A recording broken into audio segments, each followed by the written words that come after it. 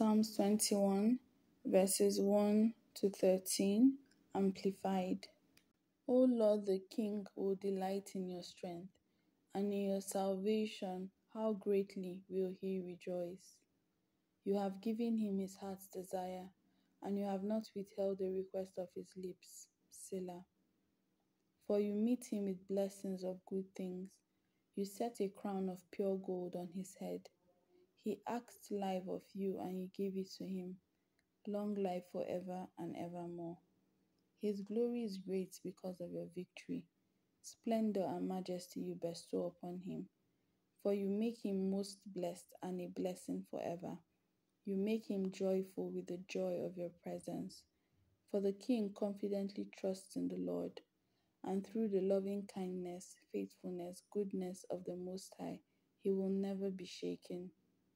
Your hand will reach out and defeat all your enemies. Your right hand will reach those who hate you.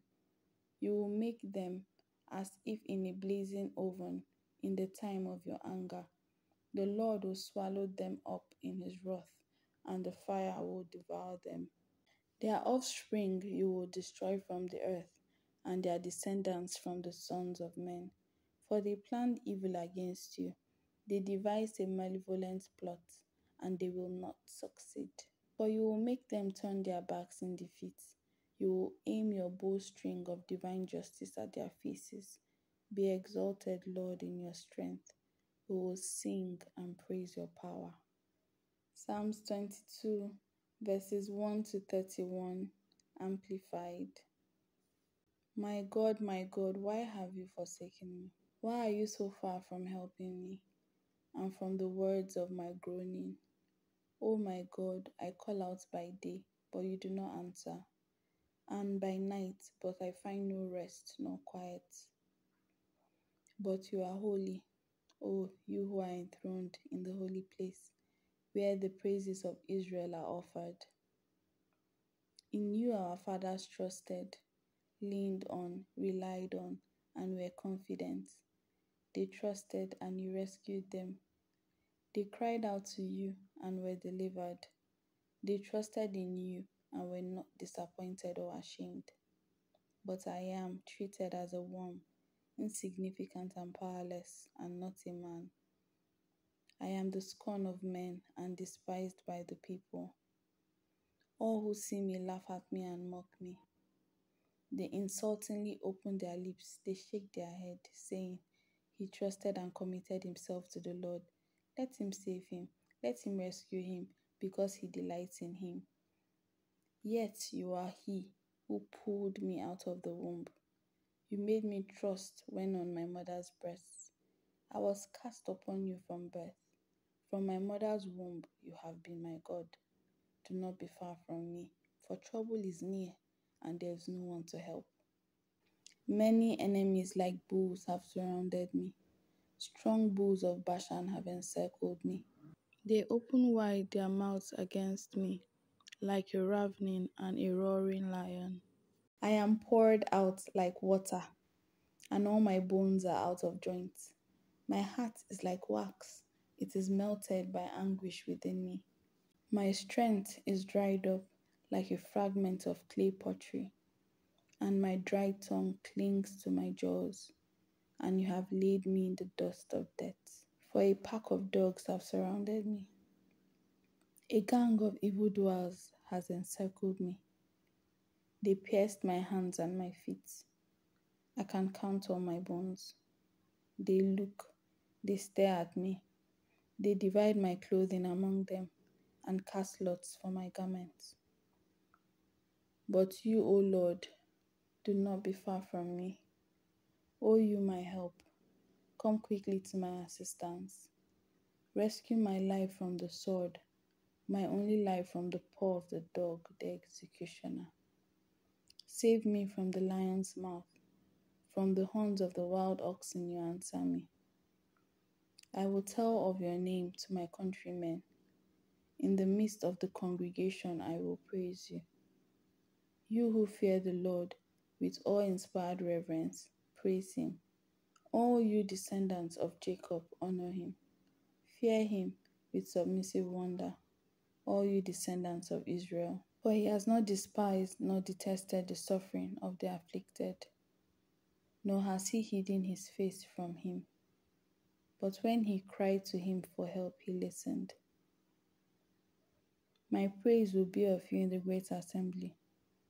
I will pay my vows made in the time of trouble before those who reverently fear him. The afflicted will eat and be satisfied. Those who diligently seek him and require him as their greatest need will praise the Lord. May your hearts live forever. All the ends of the earth will remember and turn to the Lord, and all the families of the nations will bow down and worship before you. For the kingship and the kingdom are the Lord's, and he rules over the nations. All the prosperous of the earth will eat and worship.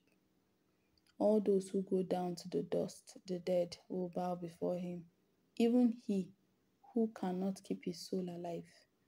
Posterity will serve him. They will tell of the Lord to the next generation.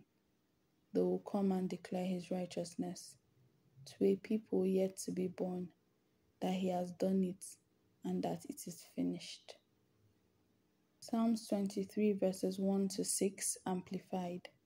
The Lord is my shepherd. To feed, to guide, and to shield me, I shall not want. He lets me lie down in green pastures. He leads me beside the still and quiet waters. He refreshes and restores my soul, life. He leads me in the paths of righteousness for his name's sake. Even though I walk through the sunless valley of the shadow of death, I fear no evil, for you are with me. Your rod to protect and your staff to guide, they comfort and console me. You prepare a table before me in the presence of my enemies. You have anointed and refreshed my head with oil. My cup overflows. Surely Goodness and mercy and unfailing love shall follow me all the days of my life, and I shall dwell forever throughout all my days in the house and in the presence of the Lord. Psalms 24, verses 1 to 10, Amplified. The earth is the Lord's and the fullness of it, the world and those who dwell in it. For he has founded it upon the seas and established it upon the streams and the rivers. Who may ascend unto the mountain of the Lord? And who may stand in his holy place? He who has clean hands and a pure heart, who has not lifted up his soul to what is false, nor has sworn oaths deceitfully. He shall receive a blessing from the Lord, and righteousness from the God of his salvation. This is the generation, description of those who diligently seek him and require him as their greatest need, who seek your face even as did Jacob. Selah. Lift up your heads, O gates, and be lifted up, ancient doors, that the King of glory may come in. Who is the King of glory? The Lord strong and mighty, the Lord mighty in battle. Lift up your heads, O gates, and lift them up, ancient doors, that the King of glory may come in. Who is he then, this King of glory? The Lord of hosts. He is the King of glory, who rules over all creation with his heavenly armies. Selah. Psalms 25, verses 1 to 22, Amplified. To you, O Lord, I lift up my soul. O my God, in you I have unwavering trust, and I rely on you with steadfast confidence. Do not let me be ashamed or my hope in you be disappointed. Do not let my enemies triumph over me. Indeed, none of those who expectantly wait for you will be ashamed.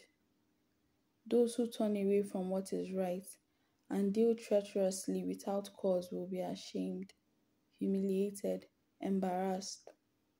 Let me know your ways, O Lord. Teach me your paths. Guide me in your truth and teach me for you are the God of my salvation. For you and only you I wait, expectantly, all day long. Remember, O Lord, your tender compassion and your loving kindness, for they have been from of old. Do not remember the sins of my youth or my transgressions. According to your loving kindness, remember me. For your goodness' sake, O Lord. Good and upright is the Lord. Therefore, he instructs sinners in the way. He leads the humble in justice, and he teaches the humble his way. All the paths of the Lord are loving kindness and goodness, and truth and faithfulness to those who keep his covenant and his testimonies. For your name's sake, O Lord, pardon my wickedness and my guilt, for they are great. Who is the man who fears the Lord? With awe inspired reverence and worships him with submissive wonder. He will teach him through his word in the way he should choose. His soul will dwell in prosperity and goodness, and his descendants will inherit the land. The secret of the wise counsel of the Lord is for those who fear him, and he will let them know his covenant and reveal to them through his word its deep inner meaning.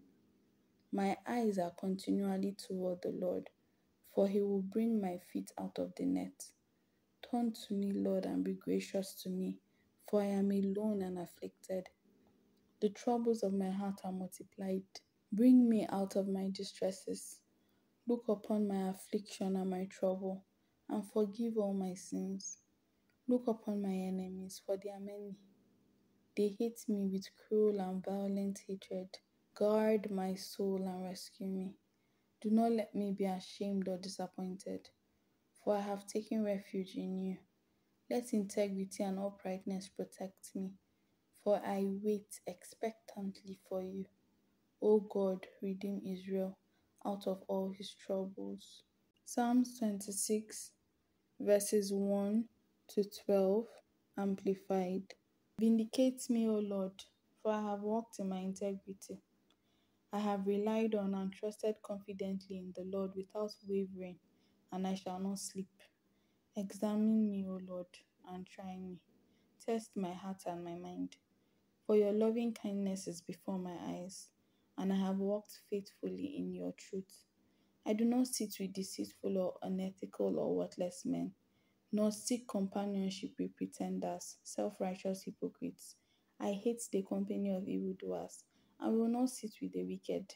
I will wash my hands in innocence, and I will go about your altar, O Lord, that I may proclaim with the voice of thanksgiving and declare all your wonders. O Lord, I love the habitation of your house and the place where your glory dwells. Do not sweep my soul away with sinners nor sweep away my life with men of bloodshed, in whose hands is a wicked scheme, and whose right hand is full of bribes. But as for me, I shall walk in my integrity. Redeem me and be merciful and gracious to me. My foot stands on a level place. In the congregations, I will bless the Lord. Psalms 27, verses 1 to 14, Amplified. The Lord is my light and my salvation. Whom shall I fear? The Lord is the refuge and fortress of my life. Whom shall I dread? When the wicked came against me to eat up my flesh, my adversaries and my enemies, they stumbled and fell. Though an army encamp against me, my heart will not fear. Though war arise against me, even in this I am confident. One thing I have asked of the Lord, and that I will seek that I may dwell in the house of the Lord in his presence all the days of my life, to gaze upon the beauty, the delightful loveliness, and majestic grandeur of the Lord, and to meditate in his temple. For in the day of trouble, he will hide me in his shelter. In the secret place of his tent, he will hide me. He will lift me up on a rock. And now my head will be lifted up above my enemies around me. In his tent I will offer sacrifices with shouts of joy. I will sing, yes, I will sing praises to the Lord. Hear, O Lord, when I cry aloud. Be gracious and compassionate to me and answer me. When you said, Seek my face in prayer, require my presence as your greatest need, my heart said to you, Your face, O Lord, I will seek on the authority of your word. Do not hide your face from me Do not turn your servant away in anger. You have been my help. Do not abandon me nor leave me, O God of my salvation. Although my father and my mother have abandoned me, yet the Lord will take me up, adopt me as his child. Teach me your way, O Lord, and lead me on a level path, because of my enemies who lie in wait. Do not give me up to the will of my adversaries for false witnesses have come against me. They breathe out violence. I would have despaired had I not believed that I would see the goodness of the Lord in the land of the living. Wait for and confidently expect the Lord. Be strong and let your heart take courage. Yes, wait for and confidently expect the Lord. Psalms 28, verses 1 to 9, Amplified. To you I call, O Lord. My rock, do not be deaf to me. For if you are silent to me, I will become like those who go down to the pit, grave. Hear the voice of my supplication, specific requests, humble entreaties as I cry to you for help. As I lift up my hands and heart toward your innermost sanctuary, Holy of Holies, do not drag me away with the wicked and with those who do evil who speak peace with their neighbors, while malice and mischief are in their hearts. Repay them according to their work and according to the evil of their practices. Repay them according to the deeds of their hands. Repay them what they deserve, because they have no regard for the works of the Lord, nor the deeds of his hands.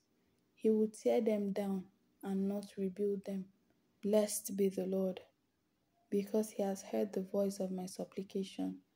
The Lord is my strength and my impenetrable shield. My heart trusts with unwavering confidence in him, and I am helped. Therefore, my heart greatly rejoices, and with my song I shall thank him and praise him. The Lord is their unyielding strength, and he is the fortress of salvation to his anointed. Save your people and bless your inheritance. Be their shepherd also and carry them forever. Psalms 29, verses 1 to 11, Amplified. Ascribe to the Lord, O sons of the mighty. Ascribe to the Lord glory and strength. Ascribe to the Lord the glory due his name.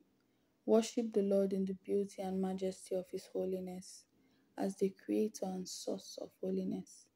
The voice of the Lord is upon the waters. The God of glory thunders. The Lord is over many waters. The voice of the Lord is powerful. The voice of the Lord is full of majesty. The voice of the Lord breaks the cedars. Yes, the Lord breaks in pieces the cedars of Lebanon. He makes Lebanon skip like a calf, and Sirion, Mount Hermon, like a young wild ox. The voice of the Lord rakes flames of fire, lightning. The voice of the Lord shakes the wilderness. The Lord shakes the wilderness of Kadesh. The voice of the Lord makes the doe labor and give birth, and strips the forest bare. And in his temple all are saying, Glory. The Lord sat as king at the flood. Yes, the Lord sits as king forever. The Lord will give unyielding and impenetrable strength to his people. The Lord will bless his people with peace. Psalms 30, verses 1 to 12. I will extol and praise you, O Lord, for you have lifted me up and have not let my enemies rejoice over me. O Lord my God, I cried to you for help, and you have healed me. O Lord, you have brought my life up from Sheol, the netherworld, the place of the dead. You have kept me alive so that I would not go down to the pit, grave. Sing to the Lord, O you his godly ones, and give thanks at the mention of his holy name. For his anger is but for a moment, his favor is for a lifetime. Weeping may endure for a night, but a shout of joy comes in the morning. As for me, in my prosperity, I said, I shall never be moved. By your favor and grace, O Lord, you have made my mountain stand strong. You hid your face, and I was horrified. I called to you, O Lord, and to the Lord I made supplication, specific request. What profit is there in my blood, death, if I go down to the pit, grave? Will the dust praise you? Will it declare your faithfulness to man? Hear, O Lord, be gracious and show favor to me. O Lord, be my helper. You have turned my mourning into dancing for me.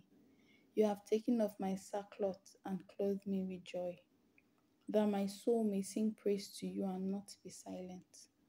O Lord my God, I will give thanks to you forever.